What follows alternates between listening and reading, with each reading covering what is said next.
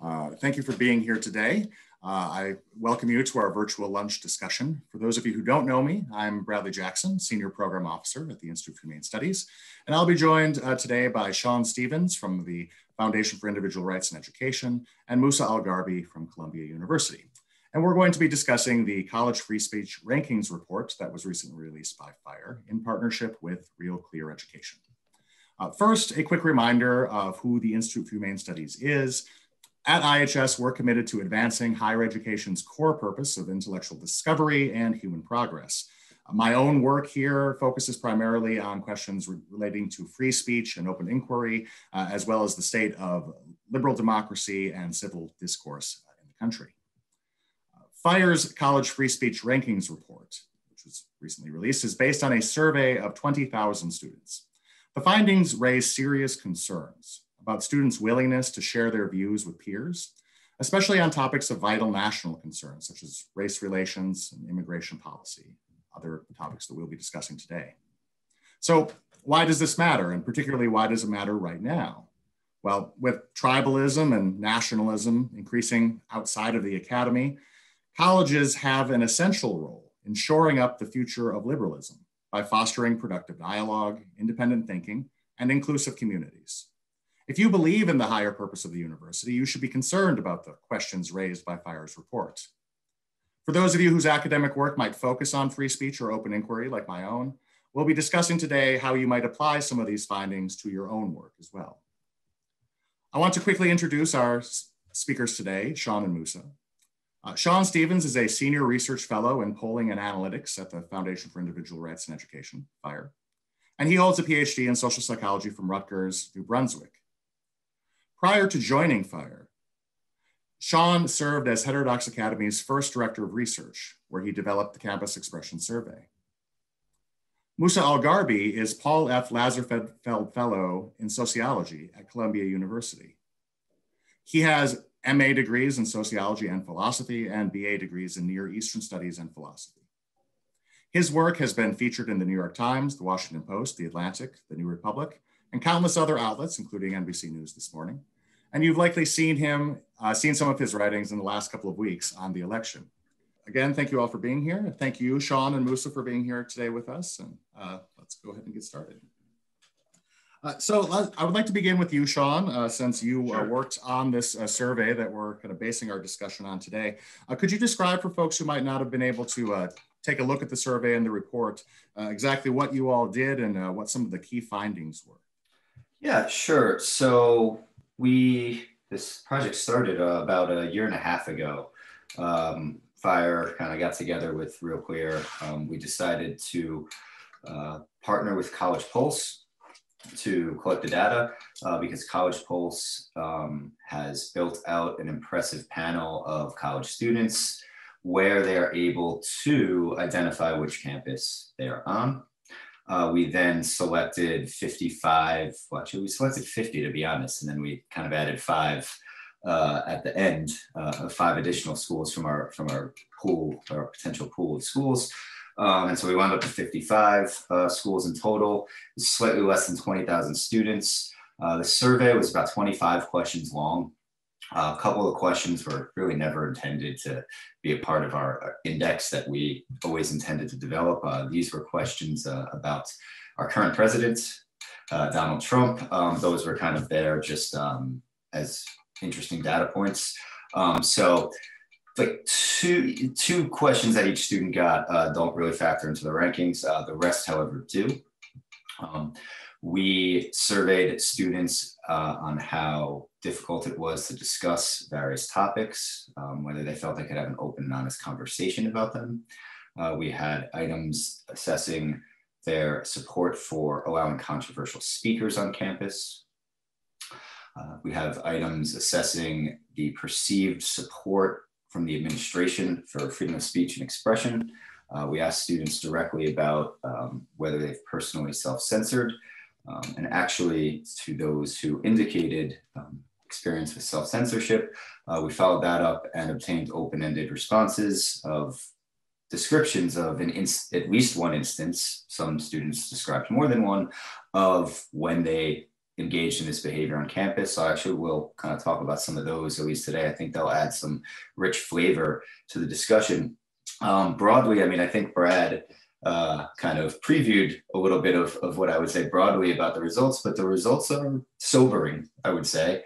Uh, there's there's some stuff in there that I think is actually somewhat positive. Um, like not every student is, you know, uh, against all these controversial speakers or things like that. Um, and uh, certainly a number of students say that they feel they can have uh, openness and honest conversations about various issues. Um, I was very encouraged to see when we asked about different modalities uh, that students might be, you know, how comfortable or uncomfortable they were expressing themselves, um, that they felt most comfortable discussing stuff with their peers.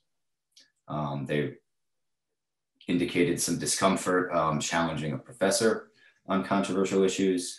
Um, most students had a pretty strong, or it seems like there's a pretty strong fear of social media and putting up uh, dissenting or unpopular opinions on social media accounts that are clearly yours, you know, that aren't anonymous um, that's like kind of across the board seemed to be one of the biggest concerns most students had, um, kind of regardless of their political affiliation or their race or their gender. Um, and but uh, with all that said, you know, I, I think the the data taken together really show that for a notable portion of students on campus, I, think you could say that they have experienced some kind of chilling effect uh, at times. It might not be all the time, it might not be chronic, but there's certainly plenty of evidence for this, uh, both from the data points from our survey questions and as I, as I mentioned and hinted at um, in these open-ended responses. So I think that that's kind of the, the real big takeaway is there is an issue with expression on campus um, and it seems to impact students regardless of their political beliefs, regardless of their gender, regardless of their race, ethnicity, um, etc. There are different reasons why, say, a conservative white male versus a liberal black female might give for why they are afraid to express their views or why they have difficulty expressing their views on campus. But both types of students have that difficulty. Um, I think I'll leave it there. We can have Musa maybe get some observations in and, and get this discussion started. But that's kind of, I think, broadly um, what we can say about this data. Thank you, Sean.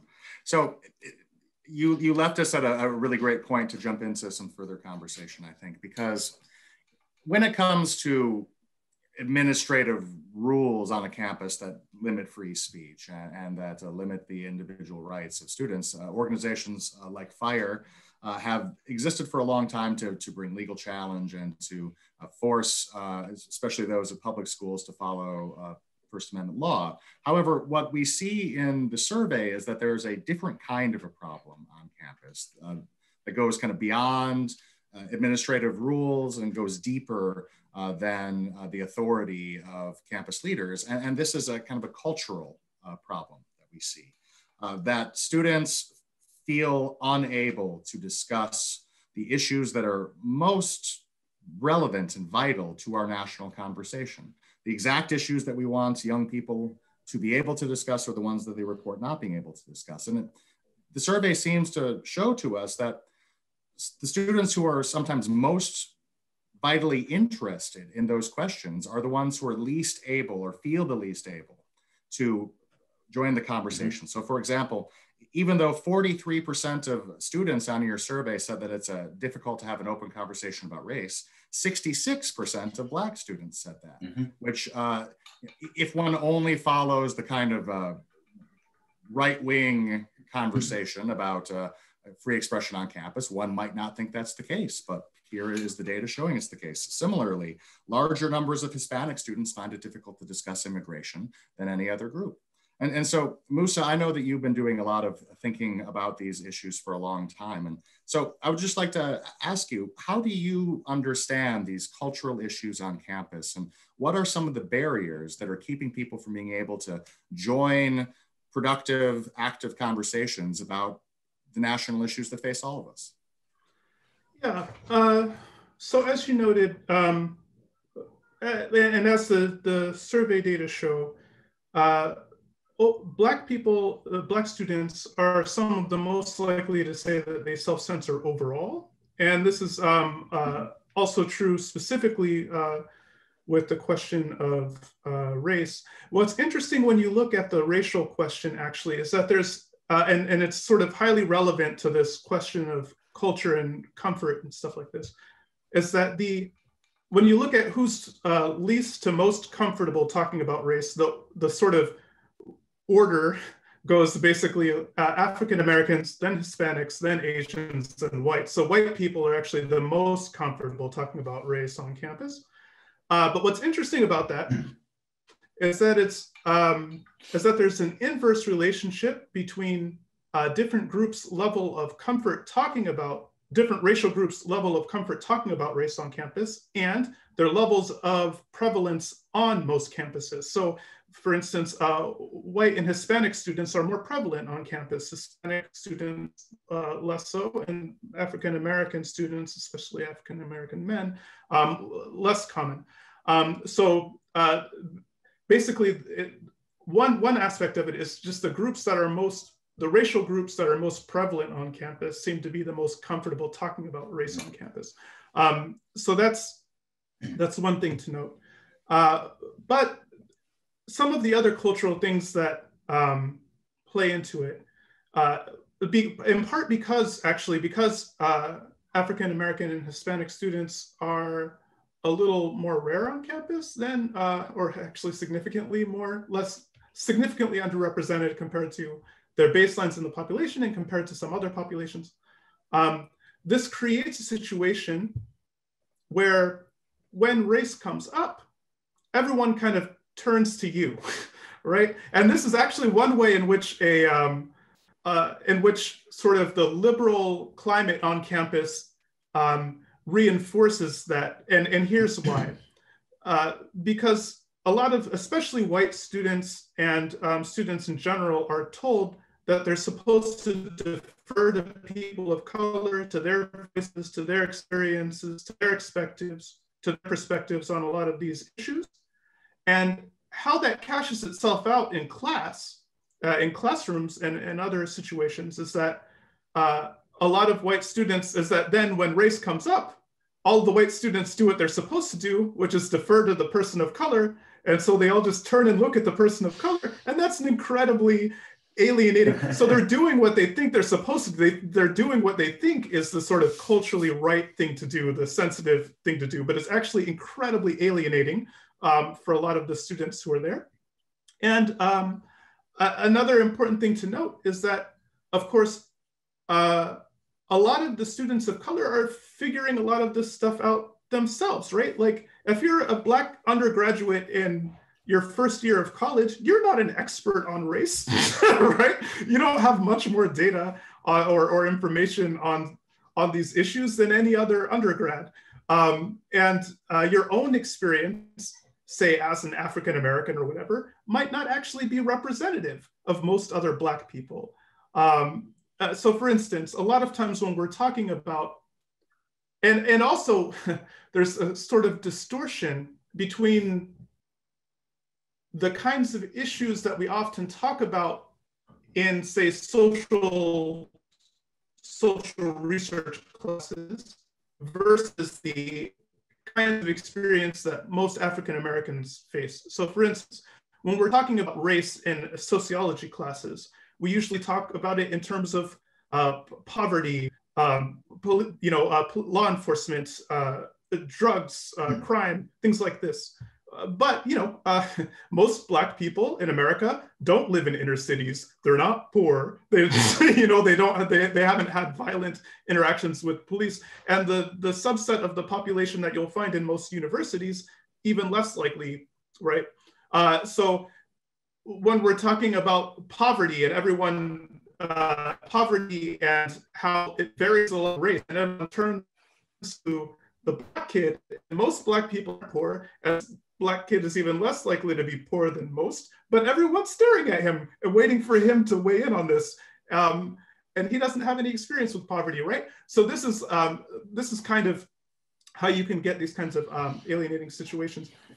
One other thing that you do note that you do notice though in some of the remarks um, that uh, both in some of the uh, in some of the comments that that the open-ended questions that um, students uh, open-ended respondents that students offered is um, so one end of, of the discomfort sort of spectrum is uh, everyone kind of turning and looking at them and expecting them to be experts on things that they are not that they couldn't possibly be experts in just in virtue of their skin color.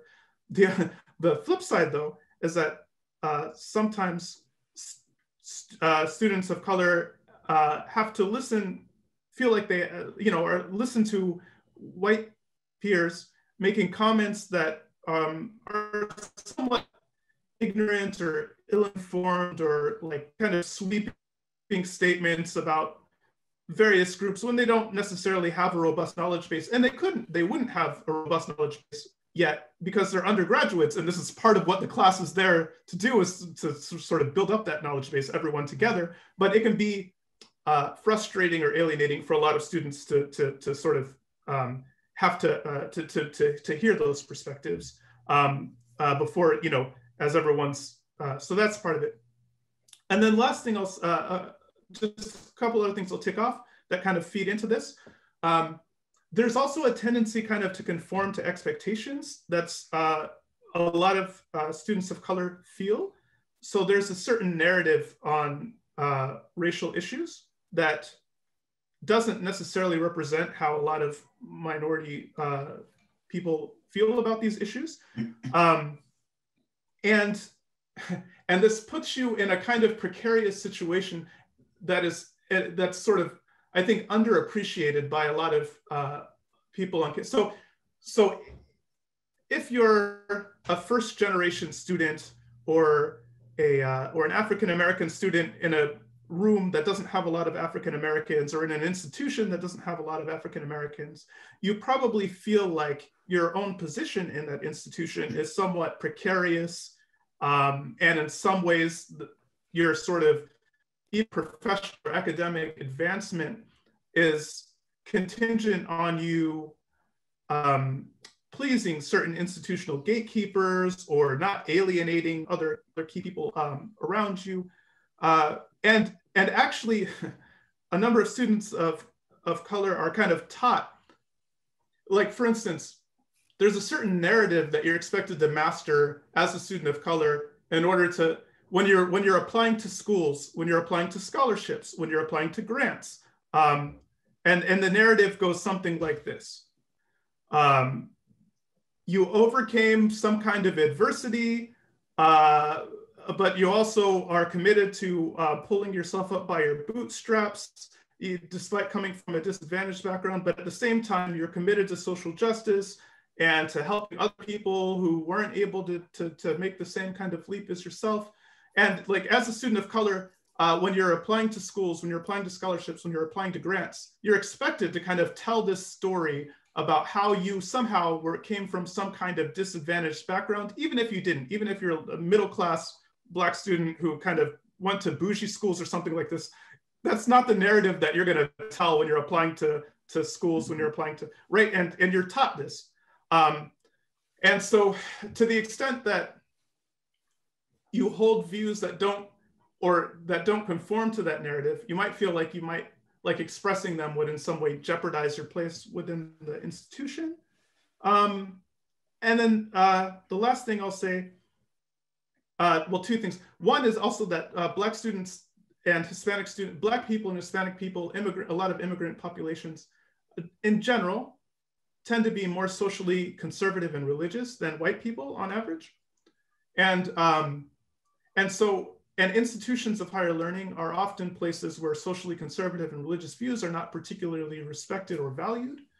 Uh, so one consequence of that is, uh, and this is why the political diversity stuff actually dovetails in many respects with other forms of diversity that people care about. You have that's uh, hostile towards socially conservative or religious views. Some of the people that would affect most are students from historically marginalized and underrepresented groups. Um, and in fact, we see from a number of, of uh, research and polling that despite the fact that universities are liberal spaces. You ask first generation students, lower income students, students of color, do you feel like you belong here? Do you feel welcome here? Uh, a lot of times they say no. Um, and then the last sort of tight, tight walk, uh, tight rope that a lot of students of color have to kind of walk though, is that even if you don't personally agree with say, some of the narratives on immigration or on policing, sometimes people are hesitant to push back against those narratives because of concern about how their objections might be used by other people. So we do live in a, in a kind of um, very political environment, a very polarized environment. So if you don't, if you're not completely on board with Black Lives Matter, it's tough to, it's, it can feel tough sometimes to articulate why or that you don't agree and in what senses you don't agree without feeling like you're giving ammunition to people who say, who want to say police reform is bunk, uh, forget it. Uh, like here's a black person who told me that, you know, um, right? Uh, so, so they're in a, a lot of students historically marginalized and disadvantaged groups are sort of in a very precarious um, social and cultural position within these institutions, and navigating that is very uncomfortable. Thank you, Musa. A lot, a lot of uh, interesting things to think through there. And uh, Sean, I know that you mentioned earlier, and I think uh, Musa also alluded to the open-ended responses uh, in the survey. And I think that some of those could help to uh, broaden our perspective and get some some good uh, empirical. Yeah, yeah. I was actually waiting for the right time to jump in with some of those. So, a number of the themes that, that Musa just mentioned are, are certainly present there. Um, you know, a very common one. I'll, I'll just kind of pick. Uh, I have, like I said, I have a bunch kind of pulled here. Um, very common one of things like this is from a, a black female student at Clemson. I am, you know, this, all of these are in response to um, please share a moment where you personally felt you could not express your opinion on your campus. So that's the open-ended prompt. Uh, and so there's a bunch that are effectively like this one. I am usually the only black person in my classroom. Um, racial topics when I am the only person of color in the room. Those are both from uh, black females at Clemson um, Indiana, anytime in a class with mostly white students. Speaking up uh, for Black women doesn't go well. Uh, even if the topic has nothing to do with race, somehow the white community makes it about race, and then it will follow being called ignorant or not knowing all the facts, etc. Uh, so this is a very common theme that it's I'm like the only black person in the room, um, and that alone makes me uncomfortable. Or um, you know, the the one we hear about a lot too. Um, it's hard. Uh, basically, when I'm the only one who's and I'm being looked at to answer these questions. Like I'm I'm now being kind of just put on the spot uh, as the token to answer these questions. And and what's interesting is it's not only um, the black students who, who report that as i said um, have some asian students who have mentioned this like it's hard being on a predominantly white campus to talk about certain issues uh, same thing with some of the Hispanic students. So this is a theme that that kind of comes up. Um, certainly, it, it, seems like most with with Black students, but it, it's also coming up with other minority groups as well. Um, to another one of Musa's points, though, some of the more moderate to conservative minority students, uh, a number of their comments take the flavor of things like, well, it's kind of assumed that I'm liberal. but I'm I, and and then I feel like I can't say what my true views are on issues like abortion or LGBT rights or transgender rights because I'm also an observant Christian, et cetera, et cetera. So there's there's things like that. Um, so I think we we have we have this interesting case where the and I actually graphed this out. I don't, I can't show that. I won't show this right now. But if you actually uh, slice um, by ideology and race and look at the difficulty discussing the topic of race, um, the effect among the Black students is really prominent among both liberal and moderate Blacks. uh, it's lower among the conservative blacks. It's still like higher than pretty much any of the other groups when you slice it this way. Like if you feel the conservative, Hispanic male, etc., like that. Um, but it seems to be driven a little bit more by, by the liberal and moderate uh, students. Um, and so that kind of, I think, speaks to these open-ended comments and some of what Musa brought up, where it's it's seen as difficult to to really push the envelope on the on the racial issues in, in kind of the progressive direction, uh, despite that kind of being the uh, major uh, it's not majority view, I guess predominant view on campus, I would say. Um, these students still feel like it's difficult to have those conversations. So I find that interesting. Um, so yeah, I, I, I think these ideally, uh, and this probably wouldn't come out for a while, but like fire, like we do intend actually to do a pretty rigorous uh, content analysis of these open-ended responses. Um, but I have no idea when that'll come out, but I, I, think it'll be very rich when it does. And I would encourage um, anyone who's interested in them, these are available on the rankings website. So you can kind of just go browse through them yourself. They're not terribly organized there, but um, you could kind of get a, a sense or flavor of what I'm talking about here. One thing I'll note too is that uh, when you look at the overall levels of comfort, um, uh, you know, which which which types of schools students feel are, are most likely to feel comfortable discussing matters in general. Um, as noted in the report, a large number of them are um, public universities, state yeah. universities with large student bodies. And that's probably not a coincidence. Um, and, and, uh, for a couple reasons. One of them being actually that um, sort of at, at state schools, these kinds of schools actually are much more likely to have um, students of faculty of color and uh, women, sort of elite private institutions actually are, are more likely to, uh, their, their professoriate is more likely to be um, homogenous as well, uh, both uh, along ideologically, racially, um, uh, even in terms of gender. Uh, women and minorities are disproportionately likely to teach at sort of state public institutions. So students of, who are from historically underrepresented and marginalized backgrounds themselves are more likely to be in a classroom with a professor who has some kind of life experience that um, is similar to their own and state institutions than they would be in some of these other schools. Yeah, I would build on that. I mean, we kind of hinted at it in the report, and, and I wouldn't, I didn't want, to, we didn't want to go too strongly with the conclusion because it's like we didn't really like test it in, in like a hypothesis testing way, but it, it, it was, but build on what Musa said, It was pretty apparent that the schools that, most of the schools that quote came out better uh, were larger state institutions. Um, and I think if you connect that to things like spiral silence theory and, and some other things we know about um, the conditions in which people self-censor, it makes a lot of sense. Um, at, at a larger school, A, you can you can sink into the background if you want.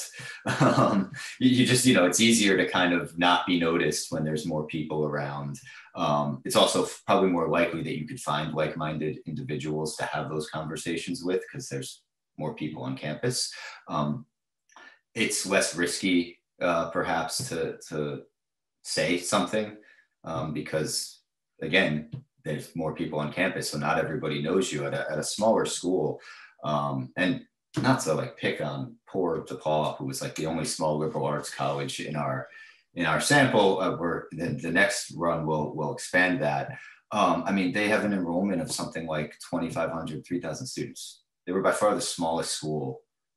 Uh, I think Dartmouth's the only one that is even relatively, you know, most of the other schools were like double that at least, um, the small schools. So, uh, you know, that's almost an environment where it's like you, don't necessarily know everybody, but it's kind of easy to be pretty noticeable and, and well known, especially if you're like the person who said the really messed up thing that, or the thing that everybody thinks is really messed up.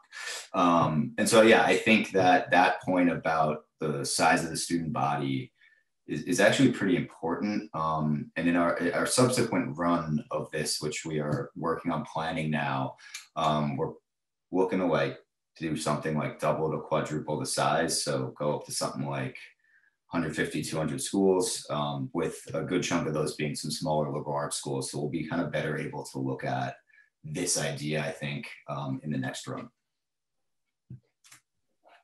So one uh, thing that we see when we look at the data is that the problem of self-censorship and the chilling effect on campus is something that affects everyone in one way or another, like all, all these different groups. So uh, some, some topics that all groups on campus find more or less difficult to uh, discuss uh, include gun control and affirmative action. Those kind of have you know, broad levels of discomfort happening. But you know, when we dig more uh, deeply into the data, we find that, for example, uh, students who identify as liberal have a really difficult time discussing the Israel-Palestine mm -hmm. issue uh, with their peers, uh, whereas conservatives find it difficult to talk about topics such as uh, feminism and transgender rights and, and, and abortion.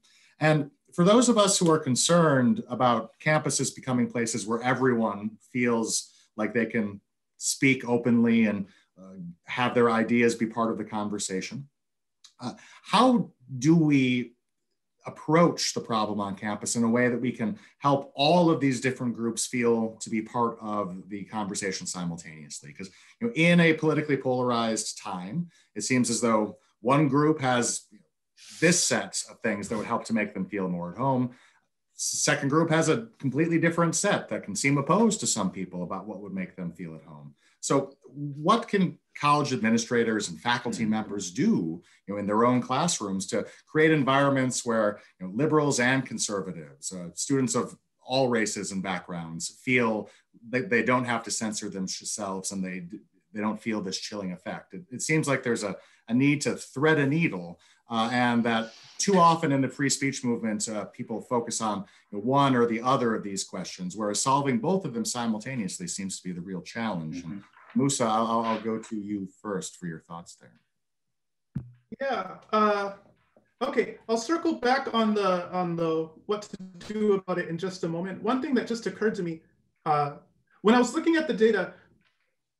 So, oh, as it relates to political diversity, one thing that you know oftentimes when when client when when an, when an institution is too politically homogenous, um, that creates an environment where a lot of people, especially on the other side, don't feel comfortable expressing themselves. And we see this predominantly, like overwhelmingly liberal institution, conservatives have a hard time speaking. More conservative skewed um, institutions, liberals have a hard time speaking.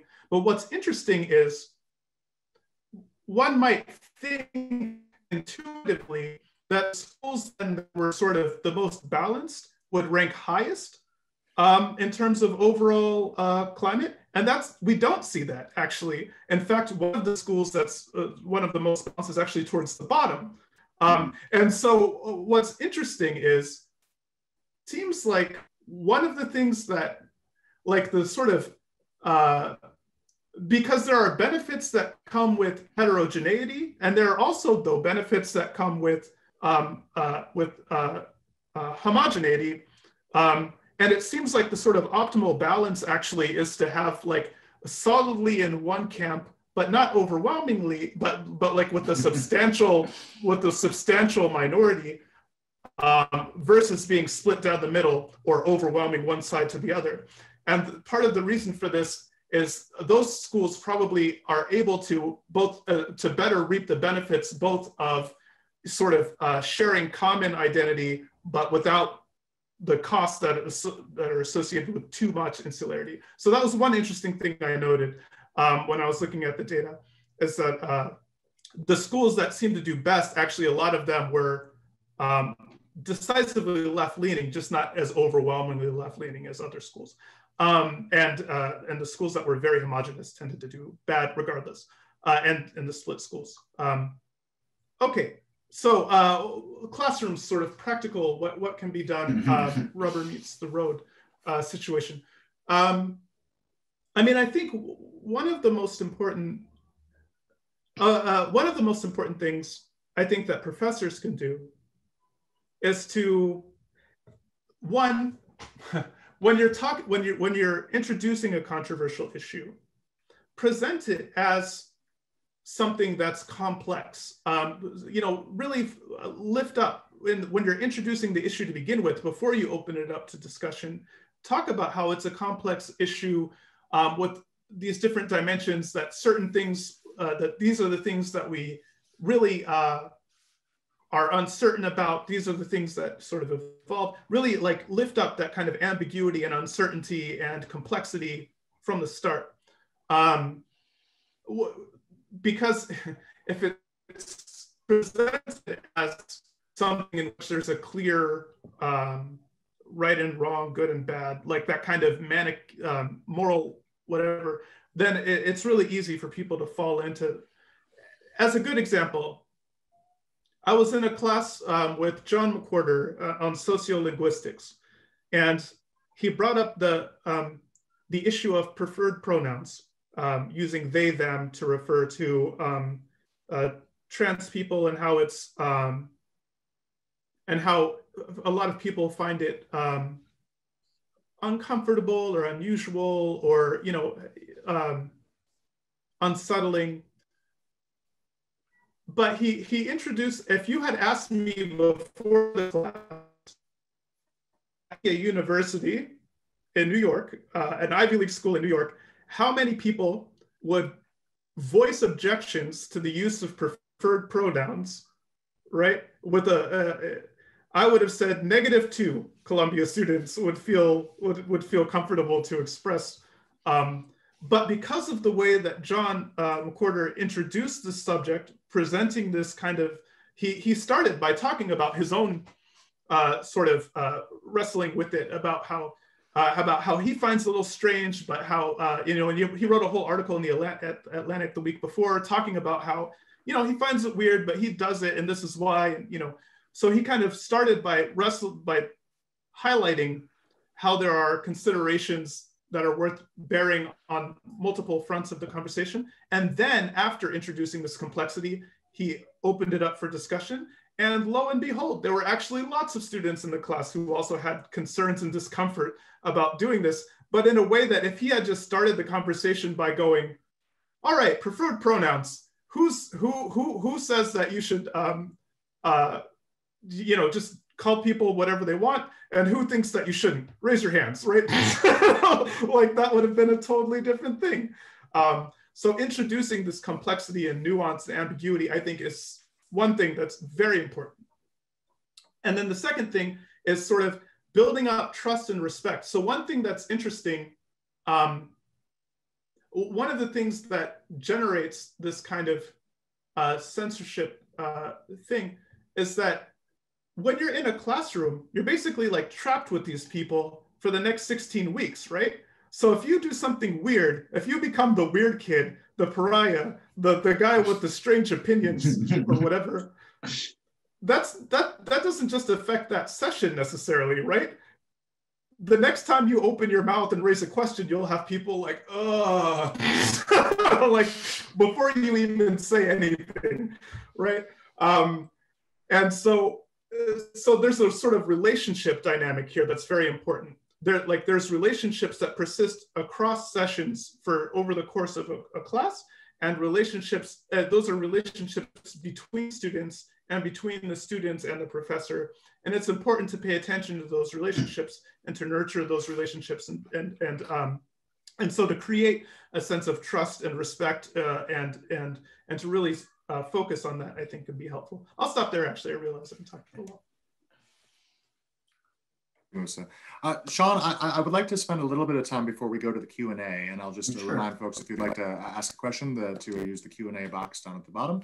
Um, so you have put together a, a, a, survey, which of course is using some uh, pretty sophisticated survey uh, instruments and te techniques and, and mm -hmm. methodologies. And I wonder if you uh, would like to say just a few words about uh, the, the, the, methods behind the survey, some of the kind of academic discussions that have uh, begun around the methods uh, of the survey. Yeah. And then if you could include maybe some thoughts about how academics uh, listening today might be able to use your survey and their own academic work. Yeah, and I will, uh, I'll just, I want to build on very quickly on one of the things Musa said, because I think it's, it's in the it, it shows up in the data and uh, I think it's important. Uh, I think you could put, and then I'll get to that. Uh, leadership, I think is, is very important. So a lot of what Musa was describing was like leadership from the professor in the classroom, um, modeling, structuring the conversation the right way, modeling like the right kind of behavior. Um, there's a lot of these comments. It shows up students saying like, "Well, I never spoke in that class again because of how the professor handled like when when someone brought this topic up."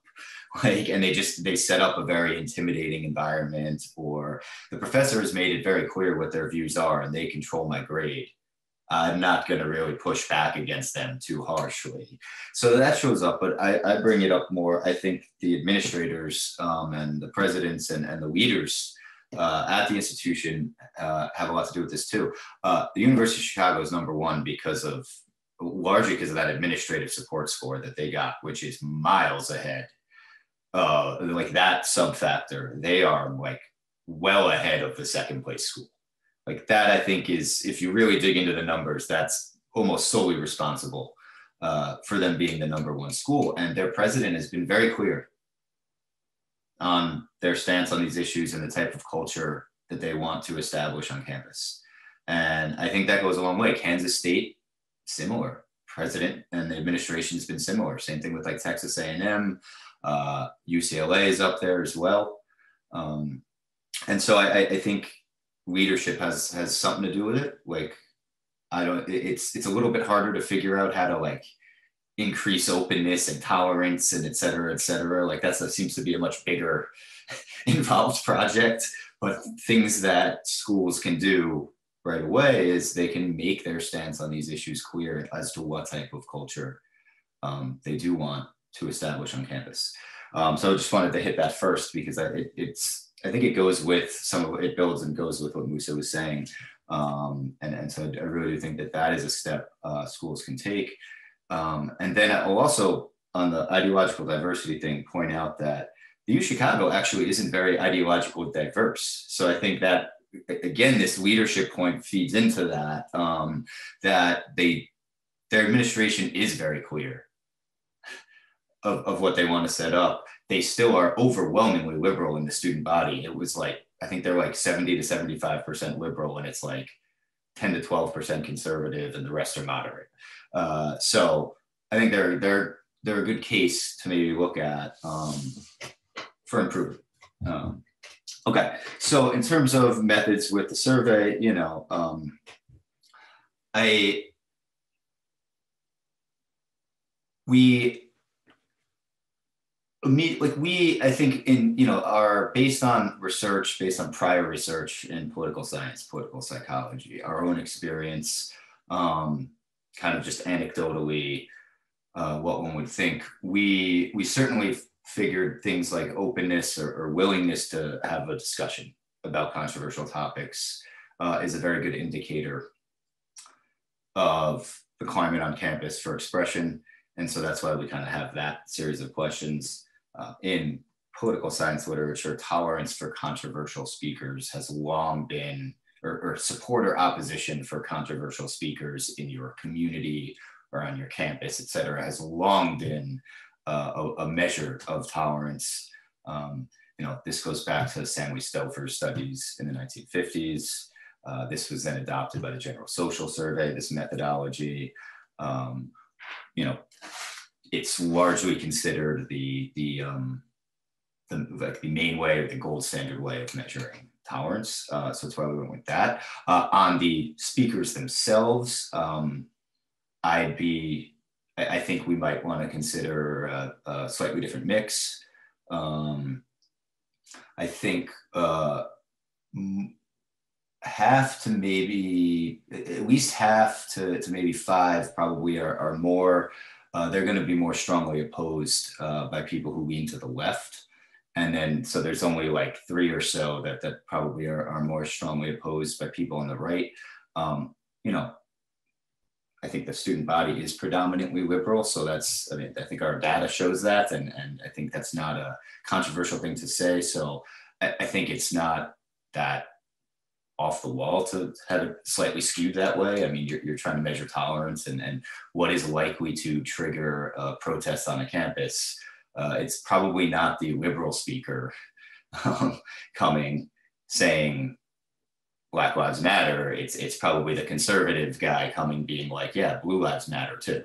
Uh, that's probably far more likely to trigger the protest or, or the anger on campus. So I, I would be open to considering some different speakers there. Um, I think that's the type of thing that, as if we continue to run this project, uh, I'd love to do it every year, kind of like a general social survey thing. You know, at some point, speakers are going to cycle out because stuff just isn't relevant anymore. And, and, issues change and, and what become the hot what becomes the hot button issue changes. And that's the same for the the openness question of, of which topics do you find difficult to discuss? You know transgender rights is on there as one of the topics. I mean 20 years ago that's people would be like i don't what what what are you talking about? Um, that wouldn't have really been maybe on a campus it would have been but it's in, in the general public it wasn't even like a registering so much in the general conscious so uh, there will need to be tweaks to the items over time um, the way honestly academics can help, can work with this data is that the data is available. The data are available um, through College Pulse's website. It's a little annoying to get to. You got to go into the insights panel where you're actually exploring the data. There's a way to download a CSV uh, that includes a code book so you can make sense of what all the numbers mean in there and you can analyze it yourself so you can kind of create your own constructs based on the variables that are in there uh, and look at things but honestly we would love to hear thoughts on are there factors or con- underlying constructs that are relevant to this question of how to measure the expression climate on campus that, that we haven't assessed, uh, that, that we might want to consider assessing? Um, are there different ways of assessing the ones we've factored into the rankings already? Um, these are all like discussions that are, are ripe for, for scholars to get involved in, I think, just because we, we did it one way, like where this is we are we are open to changing it if if there are basically other factors that we need to account for, if there's better ways to ask the questions. Um, so we, that's I think largely what I'd love to hear from other academics on. But we also encourage you to dive into the data yourselves because there's a lot there. Thank you, Sean. Uh, so let's now turn to some of the questions from the audience. And uh, just a reminder that the little box at the bottom of the screen says Q&A is the way to submit questions. Uh, so we will start well with this one, which uh, I believe, uh, Sean, you'll probably be uh, most qualified to answer in terms of the survey itself, um, which is, how do you think the results regarding student willingness to have difficult conversations would change, if at all, uh, if we specified or you specified different settings on campus, different locations, for example, uh, in classrooms versus in a public forum versus in a dorm, uh, we may have lost Sean, unfortunately. So I'm going to keep can, that I question. I can oh, speak a little bit to that actually, because there is some some research from previous fire studies and other places while we're waiting for Sean to come up. Uh, one of the things that you see um, in some other research, I can't speak specifically to because I don't have the um, on this one, but other fire studies, for instance, have shown um, one of the places, and, and, as noted, actually, one of the places where students feel least comfortable to talk about uh, to talk is online. And the reason for this is because then it's not interactions with people who are your peers or whatever, but these are kind of uh, conversations on the record, which can be used by a bunch of other people who don't know you, who don't know the context, who can be taking it out of context and kind of attack, mobbing you. Um, so that's one place where students feel less comfortable uh, talking. Um, classrooms is another uh, for two reasons. Um, one, as Sean noted, because a number of students are concerned about uh, being punished by professors uh, for, for, for saying the wrong thing uh, or just being kind of humiliated in front of their peers by saying something that wasn't accurate. And the professor is like actually that's not true uh, just kind of in a right? Um, and then there's still the social dimension of managing your relationships with your peers that you're leveraging too. So in the classroom is sometimes another place. But as uh, sean noted oftentimes uh, when, when you're talking private settings with your peers outside of in less public context less public than the classroom less public than online stu- people do feel more comfortable um, exchanging ideas. Sean. Sorry, my internet decided to crap out for a second, and I think I'm actually connected using my phone now. But uh, well, we can we can hear you louder there now. uh, so uh, I'll I'll repeat the question for you, just assuming that you yeah get the whole I thing. Um, so uh, an audience member is uh, interested if if the survey were to specify different settings in which conversations uh, and interactions would be happening, for example, uh, dorms versus public fora versus classrooms, would that change uh, remarkably, do you think, the kind of results you get on these uh, openness questions? I, I, do think it would. Um, I, I, think based on the responses that students seem to feel comfortable discussing controversial political issues with their peers, uh, I think you would see more openness in like dorm room setting versus the classroom. I mean, I think Musa made a great point about a classroom and a college course. Uh, it's not just like you're there for like an hour and a half and then you're moving on with your life. Like you're in this course for 15, 16 weeks you're there once or twice a week. If you're attending every every course every class uh, you're seeing these people a lot. Uh, if you're known as the weird person who has the crazy opinions that's going to be much different versus like being in the dorm where you, you can kind of pick and choose who you're interacting with right? You have more control over who you're interacting with. Uh, i think you would see i do think you would see differences. Um, it gets tricky uh, you know so there's it, it it's tricky to incorporate something like that because you want to be mindful also of length and, and survey fatigue.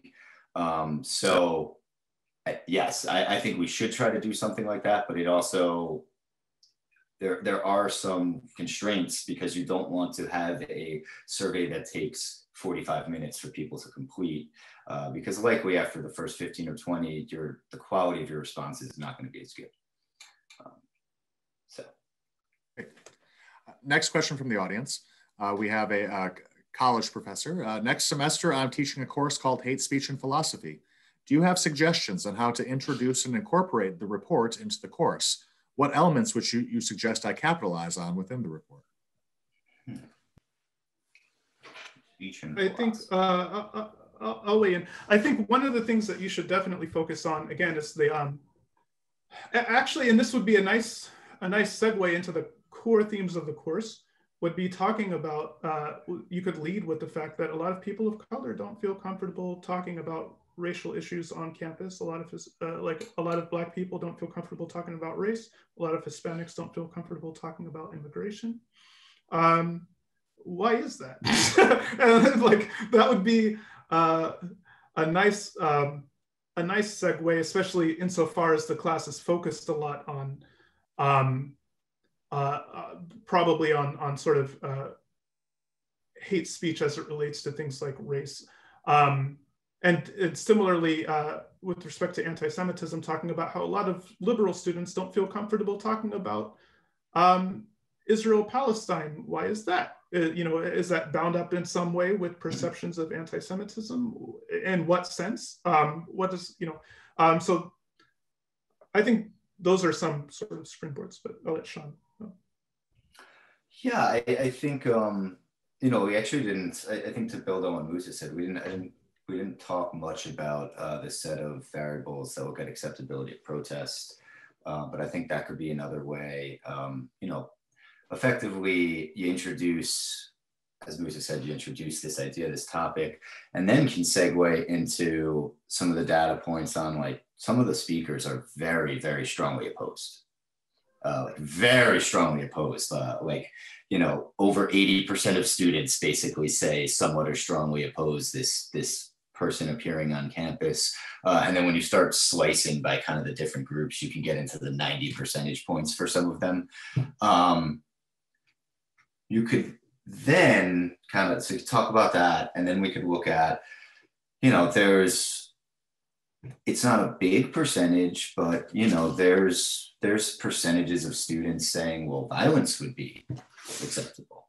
And so I think that that um, to, to stop a speaker or an event from happening on campus, or, or it would be okay to physically block entry uh, to this event. Um, talking about kind of talking about the hate speech issue in this way and, and being like, well, you know, and I actually I think I understand why a number of people would say violence is rarely acceptable because like there might be an instance where I don't think I would even say never to that question to be honest, uh, because there there might be an instance where you think a, a, certain response is appropriate, and so I think that's a kind of a way in, terms of a, to get a deep philosophical conversation going, it's like, well, you have 1% saying, yeah, sure, violence is always acceptable, and like three or 4% saying sometimes. The vast majority of the, I think it's, I think it was 18% find some level of violence acceptable. But the vast majority of them are saying it's rare, rarely acceptable. And so I think that gets into kind of a philosophical question of why. Why would it be acceptable for this speaker here, uh, but not for this speaker over here who's basically just saying we should support Israeli military policy as, as the US government. One quick thing I'll add to that. So on page 17 of the fire report um, is, is, includes a chart that Sean referred to earlier where um, would you be supportive of having this kind of speaker speak on yeah. campus? And what's interesting is there's like a dramatic asymmetry there for almost all of those charts where the number of people who are um, opposed uh, when you look at the number who are opposed versus the number who are supportive of, and then there's there's people in the middle, right? So it's not that. Um, so it's not like the people who are opposed uh, to having the the speaker speak on campus. All the rest of the population is supportive. In fact, it's actually a smaller than that share of the people who are um, supportive of uh, who are actually supportive of letting them speak.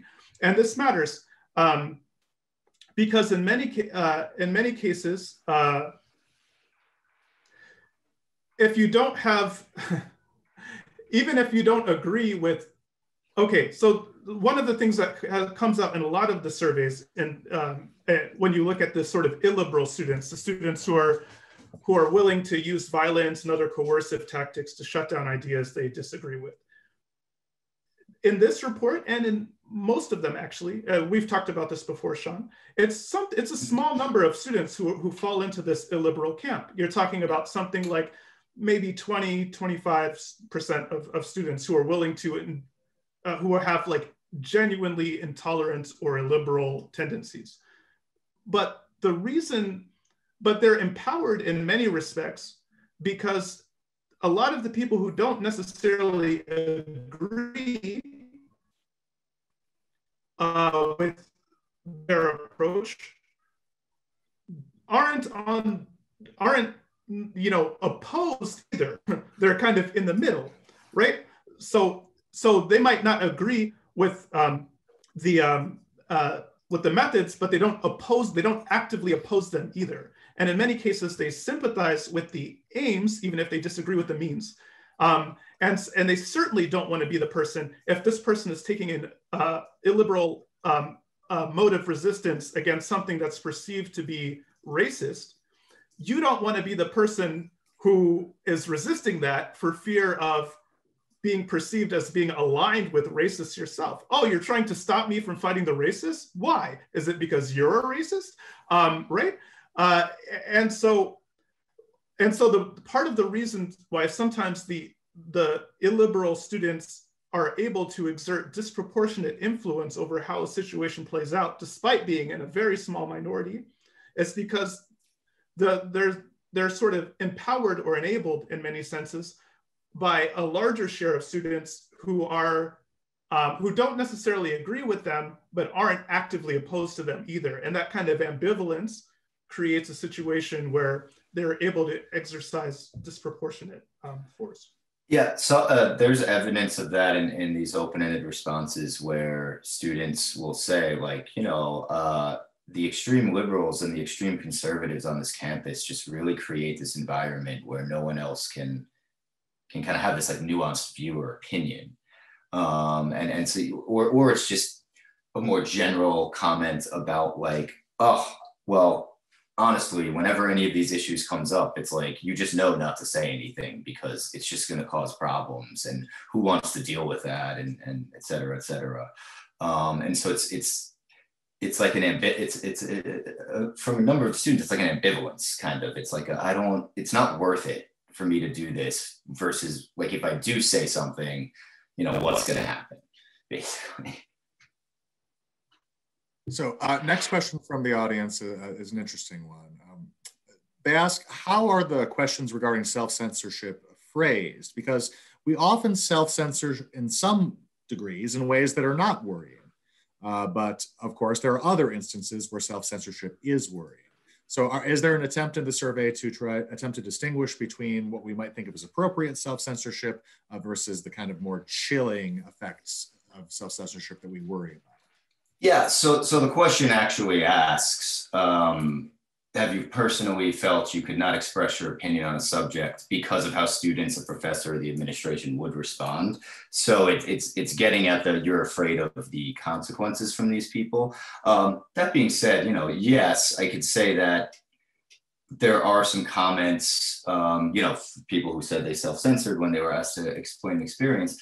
There's there's a small portion of comments where it's like, well, I was doing it because I didn't want to like hurt people's feelings, or I was doing it because you know I don't know a lot about that topic. Um, which I wouldn't those I wouldn't I wouldn't consider not knowing a lot about the topic actual really like self-censorship. That's being like I'm ceding the ground to the people that know more about this. Um, and then yeah like also like i'm just you know i'm being polite like that's not necessarily the worst thing in in every situation either like not every, you don't have to get into every issue every time it comes up necessarily would be my opinion.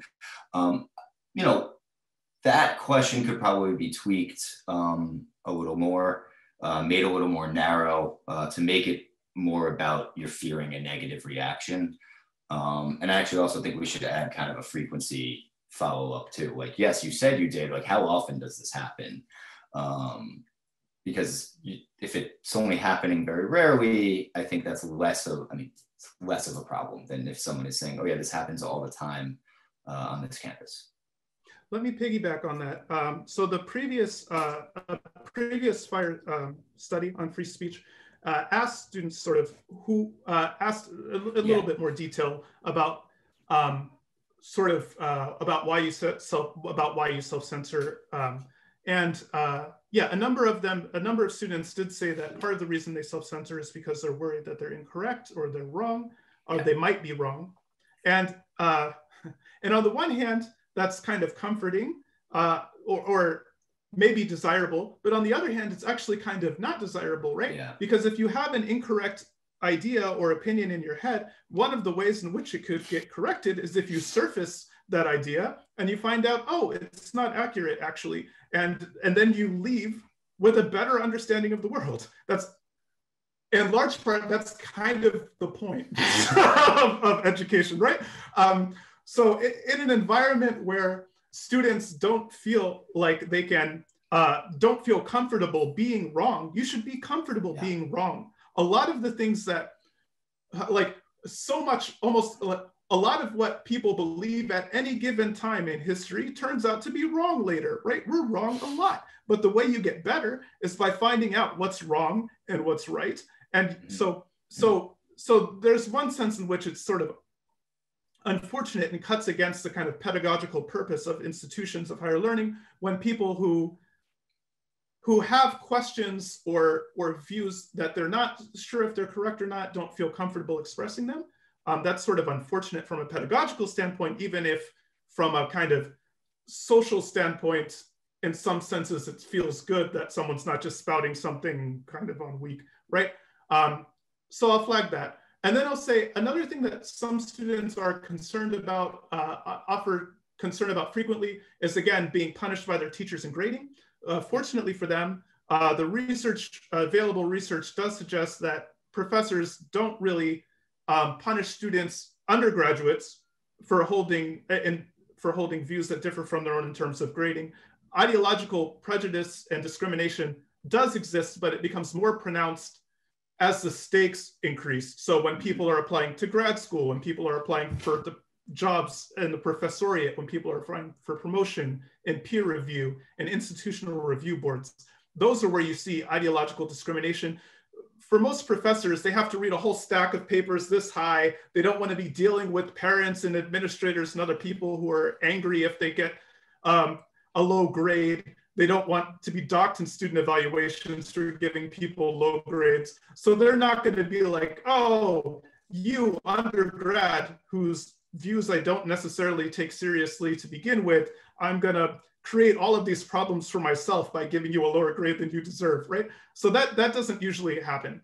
Um, but they feel it happens, but they're worried about it, and that's a problem, right? So that's, that's one of these sort of cultural issues where even if professors aren't likely to, to punish their students for in terms of grading for yeah. saying disagreeable things. A lot of students feel like yeah. that will happen.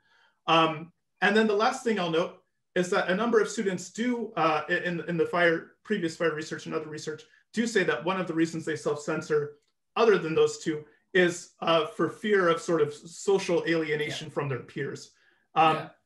And one of the sort of disturbing uh, follow-up things that the fire uh, study from uh, 2017 or 16 or 17 i think is when they came out with those yeah it's the most the most recent yeah. one uh, showed is that um, i think it's 2018 maybe a- anyway what it showed is that uh, they asked students how do you respond how would you respond if one of your classmates um, said something that you found offensive or disagreeable would you try to understand uh, sort of where they were coming from? Would you avoid interaction with them in the future, et cetera, et cetera?